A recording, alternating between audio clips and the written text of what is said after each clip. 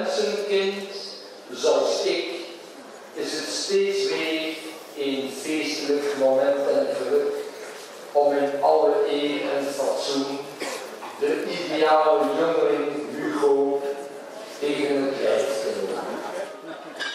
En daarbij zijn werk te mogen admireren en bewonderen.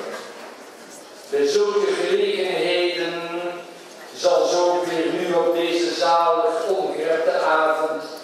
Zebraststraat lijkt hij in donkere kleren blond en met een fraai geproportioneerde vrouw in de strakte van zijn ferme knapenbroek.